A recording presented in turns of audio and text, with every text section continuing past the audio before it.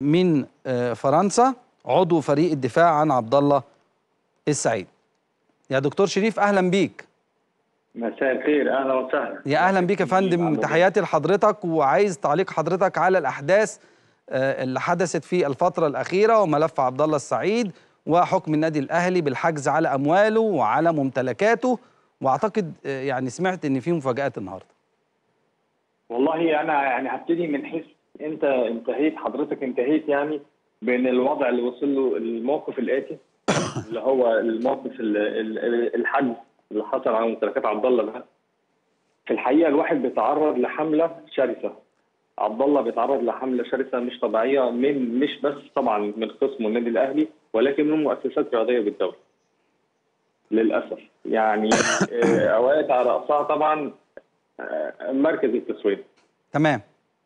اللي حصل حضرتك عارف إن طلع قرار في إبريل من السنة اللي فاتت 2021 أيوه عبد الله طعن قدام الكاس زي ما الأهلي بيطعن قدام الكاس على طول وزي ما كل النوادي المصرية وزي ما الاتحاد نفسه لسه طعن عن- قدام الكاس على قرارات معينة طالعه من الاتحاد الأفريقي.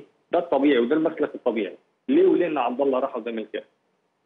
تمام. جريمة في حد ذاتها تمام. اللي حصل إن من ساعة ما راح للكاس من يوم من أغسطس وقرار المركز التسويقي ده موقوف. موقوف بخطاب رسمي طالع من الكاس الأهلي فضل قاعد ما ما ده جديد الكلام ده؟ الكلام ده موجود من زمان حضرتك بس ما قلناهوش في الإعلام. آه. حفاظا على ال- ال- سريه الإجراءات. بس إحنا خلاص طلع حكم. فعشان كده بقول لحضرتك. بس أنا اللي أعلمه المعلومة اللي عندي إن عبد الله ما عملش طعن على هذا الحكم لأن الطعن بيتكلف مليون و300 ألف و... وانتوا قلتوا ان المبلغ كبير جدا ان إحنا نعمل طعن لأن الطعن كان يوقف الحكم. إحنا حضرتك عاملين طعن في الكاس وطعن في الكاس وقف الحكم ومعانا خطاب من أغسطس ومعانا خطاب طالع النهارده تاني ومعانا حكم طالع من شهر آه. انت عملت طعن إمتى يا فندم؟ بكرة. عملت طعن إمتى؟ عملت طعن إمتى؟ عملت شهر 6 اللي فات طعن في الكاس. لا أنا بتكلم على الحكم اللي صدر دلوقتي. حضرتك عملت عليه طعن. أنهي حكم حضرتك؟ اللي صدر لسه من يومين. بالحجز على ممتلكات آه، عبد الله السعيد آه، والغرامة أنا 2 حاجة مليون. ثانية أنا جاي لك في الكلام. اتفضل يا فندم. الكلام بقى. عايز الناس تفهم بس. اتفضل. آه لا أنا كل ده بتكلم في إن قرار المركز موقوف. اللي أنت بتقول إن هو اتنفذ إن هو يتعمل بيه حجز. هو أصلا موقوف الكاس وقفاه من زمان. آه. ال- اللي حصل إن جم بعد كده في شهر- الشهر اللي فات شهر خمسة طلع حكم من الكاس مش عاجب الأهلي. الكاس قالت أنا مختصة وأنا هفصل في الموضوع. فالاهلي قام عمل إيه؟ الاهلي قام واخد حكم المركز اللي موقوف قانونا وأدخل القضاء في النزاع دي مخالفة تانية طبعا ليها اجراءاتها وتبعاتها مع الفيفا إن هو دخل القضاء المصري راح قدام القاضي وقام طالب قام اعطته قدام القاضي قرار المركز على أساس إن هو قرار نهائي. وأغفل تقديم المستندات اللي قدام الكاس وقرارات. الكاس فبالتالي طلع الأمر إيه الأمر التنفيذي وأخذ عليه حجز إيه تحفظي. الحجز التحفظي ده طبعا الزملاء في مصر هيتظلموا منه وهيطعنوا عليه بناء طبعا على الخطاب اللي إحنا كمان لسه جاي لنا من الكاس النهارده الصبح. امم ال ال ال النادي الأهلي أخذ حق الرد إن إحنا طبعا لما جات لنا الإعلانات بالحجز التحفظي ده بلغنا الكاس على طول إن دي مخالفة مخالفة لقرار الوقف. امم واضح كده؟ تمام. تمام. فالنادي الاهلي كان له حق الرد هو ومركز التسوية. وهنا بتظهر الحملة بقى اللي بقول لحضرتك عليها. مركز التسوية اللي ملوش نصيب في تنفيذ ال 2 مليون دولار ولا ليه أي علاقة.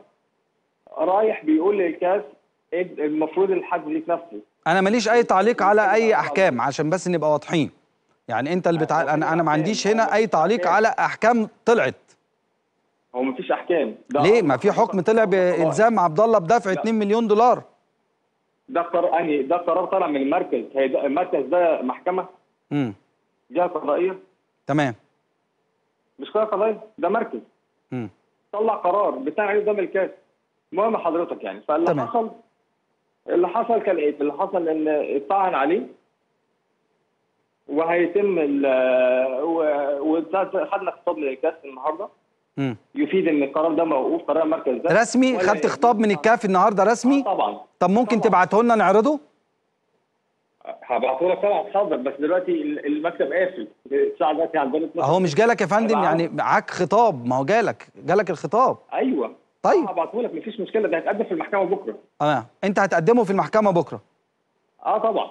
تمام. طيب هل عبد الله السعيد حول كل ممتلكاته آه خارج مصر؟ عندي خبر كده.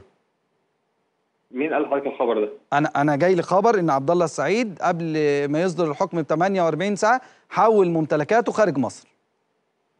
والله أنا ما يعني أنا الخبر ده لا اثق في صحته خالص أنا ما أعرفش هو جاي منين بس أنا بقول لحضرتك إحنا اجراءات الأرصدة الأرصدة مش الممتلكات يعني الأرصدة. الأرصدة في البنوك؟ آه. تم الحجز عليها طبعا. نعم؟ تم الحجز عليها. تم الحجز عليها. في البنوك تم الحجز عليها طبعا. يعني مفيش حاجة اتحولت بره والكلام ده كله والكلام حضرتك حصل الحجز؟ أو إحنا رايحين المحكمة ليه؟ الحجز حصل على جميع البنوك اللي عبد الله حاطط فيها فلوسه؟